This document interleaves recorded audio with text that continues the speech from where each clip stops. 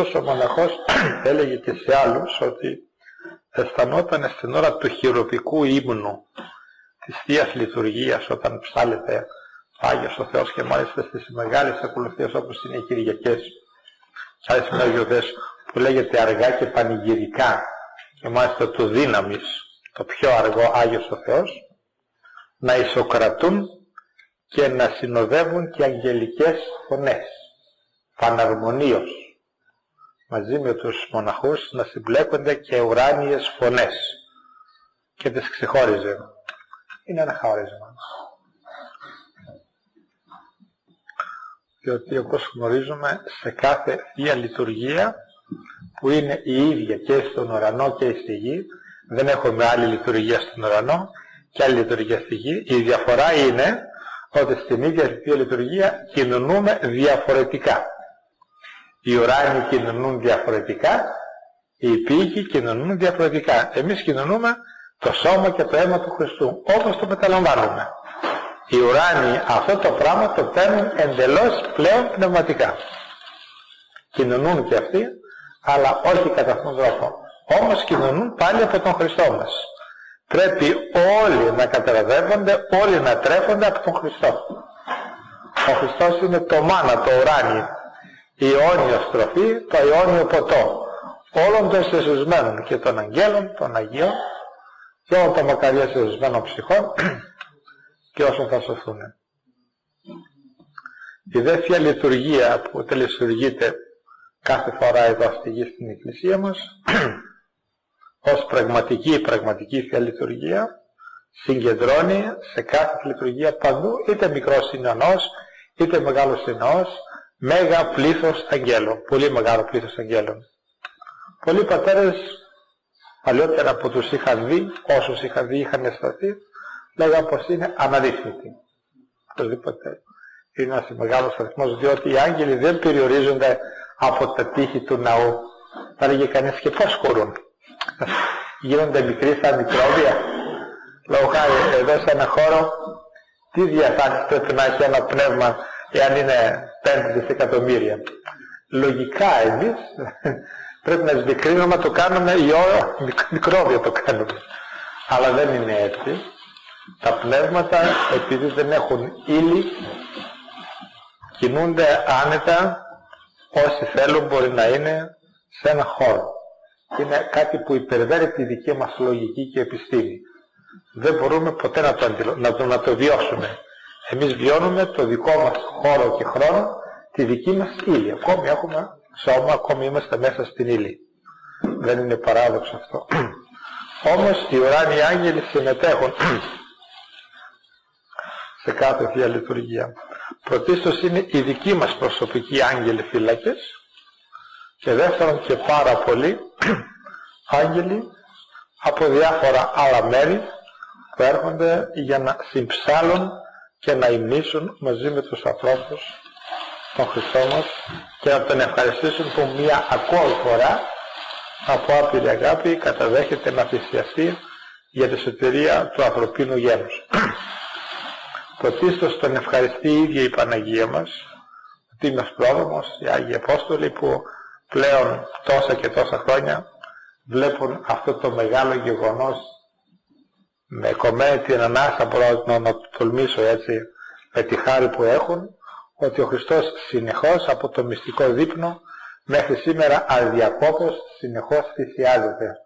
Δεν σταμάτησε ποτέ από τότε να θυσιάζει το Χριστός μας. Και συγκεκριμένα από την Αγία Πεντηκοστή και Δεύτερη έχουμε ασταμάτητη Θεία Λειτουργία επί της γης. Έλεγε ένας γέροντας από την Αγία Πεντηκοστή μέχρι σήμερα δεν σταμάτησε ποτέ μα ποτέ να γίνεται έστω και λίγες θέσεις λειτουργίες μέχρι σήμερα. Ποτέ δεν έγινε αυτή η διακοπή. Εάν κάποια μέρα στον κόσμο δεν γίνει ούτε μία θεία λειτουργία, εφοβείται ο μοναχός πως θα γίνει αμέσως η Δευτέρα παρουσία.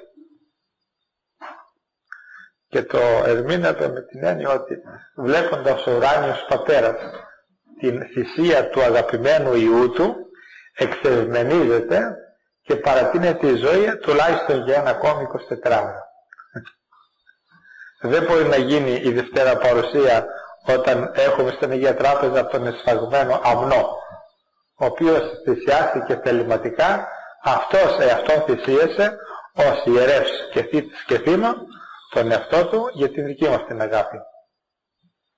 Αυτό ο ουράνιος πατέρας δεν μπορεί όχι να το παραβλέψει, αλλά να το υπερκεράσει, να το ξεπεράσει.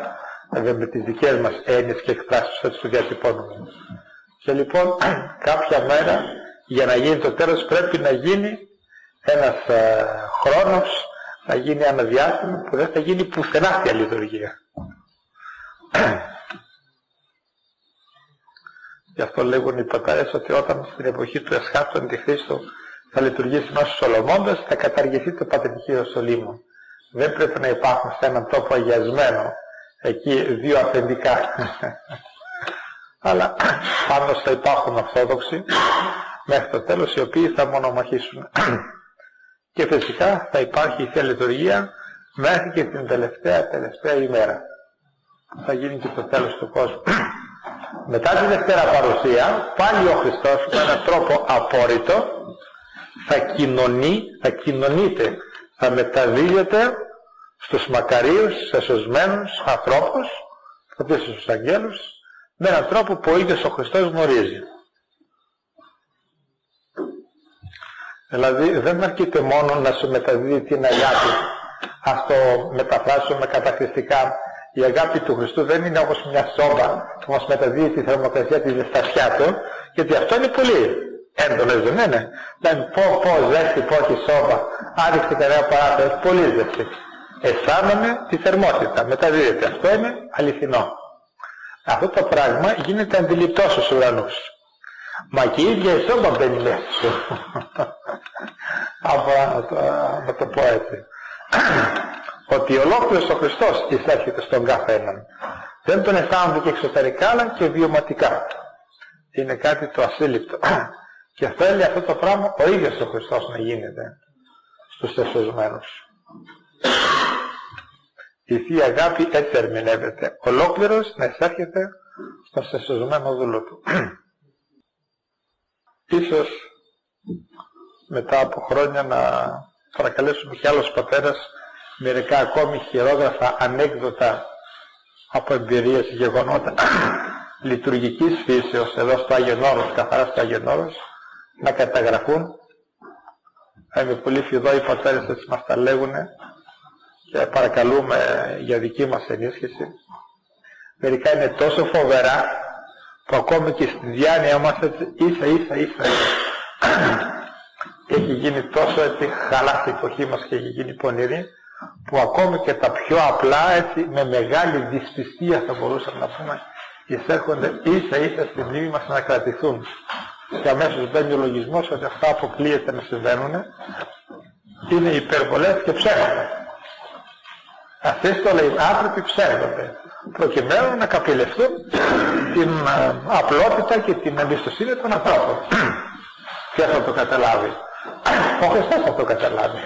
Φτάνει αυτό, δεν φτάνει. Δεν θα κρίνει. Θα γλιτώσει κανένας από τη δικαιοσύνη. Αν κανείς ψεύδεται, κανείς. Μάλιστα και τέτοια ψεύδι που είναι βλασφημίες, ή ίσα επιστήρων, αιώνια καταδίκη και κόλαση. Επομένως, βιολογικά δεν συμφέρει. Και εμπορικά πάλι δεν συμφέρει. Όταν ένας έμπορος χρεώνεται, χρεώνεται, αυτό δεν είναι εύκολο. δεν έχει φυσική εξυπνάδα, δηλαδή δεν θα λειτουργήσει. Θα κλείσει το μαγαζάκι του. θα πρέπει να είναι αληθινά. Κάτι το αληθινό έχει μέσα Χριστό.